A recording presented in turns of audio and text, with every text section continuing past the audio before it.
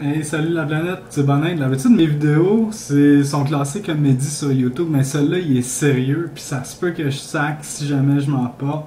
Donc, avertissement parental, si jamais je sac, vous êtes avertis. Aujourd'hui, on va manger avec un ami que je nommerai pas. Ben oui, je vais le nommer, c'est Maxime Fontaine. On mange, on mange. On parle un petit peu des nouvelles, vite fait. Puis là, il me dit, hey les gros, T'as-tu entendu ça hier aux nouvelles? La police a fait un exercice sur les zombies. Quoi? Les zombies? Il dit ouais, ouais, ils ont fait un exercice, un scénario avec des zombies.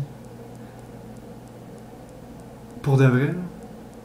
Je veux dire, moi, Nicolas Bonin, contribuable québécois, même canadien, j'ai payé pour faire un exercice.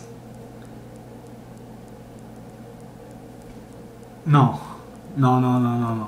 Pendant que Stephen Harper m'oblige à me trouver une job pendant que j'en ai déjà une, la police fait un exercice en simulant qu'il y a des zombies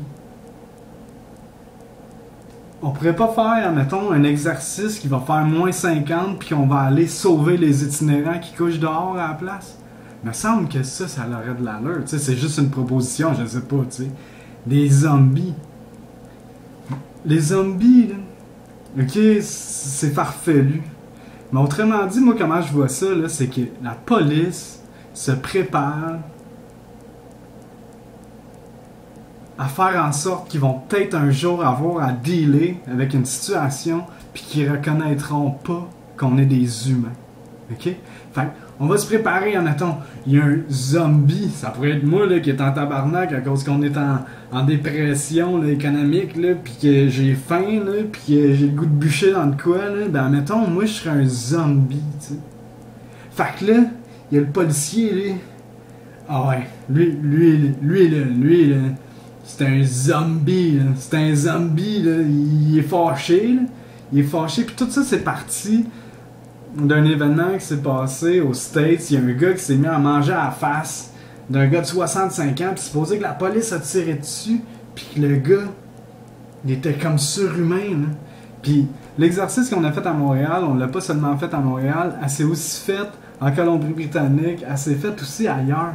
Mais l'affaire, là, c'est que pendant qu'on est dans la merde économiquement, puis qu'on a des dettes, puis des dettes, puis des dettes, en place de se pratiquer à sauver des itinérants, ou peu importe, là, on pourrait simuler un autre verglas, je comprends, on pourrait simuler des catastrophes, pas des astis de zombies.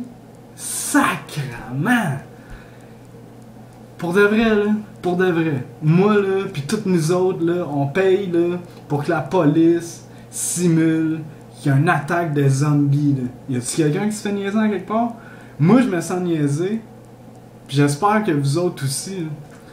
J'ai déjà fait des vidéos, j'ai appelé mon conseiller pour lui demander une job. Mon député fédéral, j'ai dit Avez-vous une job pour moi? C'était pour rire. J'ai niaisé mon ami Jonathan parce qu'il déneigeait puis la, la neige allait fondre dehors. Puis je trouvais que c'était une dépense inutile, la ville de Verdun, de ramasser la neige. Mais il n'y a rien là, ramasser de la neige. Ça, c'était une joke.